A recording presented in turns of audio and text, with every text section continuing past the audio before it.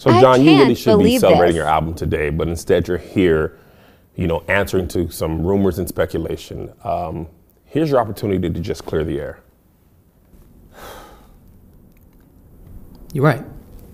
I should be celebrating.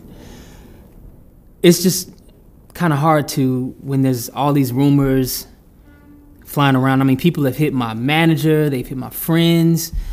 People are DMing my mother. Wow. She's 73 years old. Leave her alone. Yeah. I can't even Google my name in peace anymore. I'm just I'm just tired, bro. I gotta I get that, but I mean, you really could put an end to that all right now. I mean, you know the internet. If you're not going to answer it, people are going to create stories and narratives, and the gossip sites are going to create their own, and DMs and websites, Twitter threads. Here's your opportunity to set the record straight. What's going on with you? Okay. So you remember people?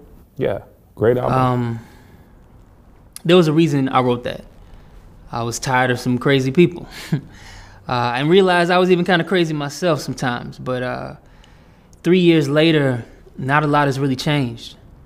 Uh, I thought it was the pandemic, uh, but it really was not. And I just kind of need to just come out with it, say it myself.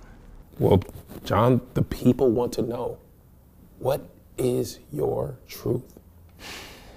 Okay, uh, my truth is my my truth. My real truth is I'm going on tour.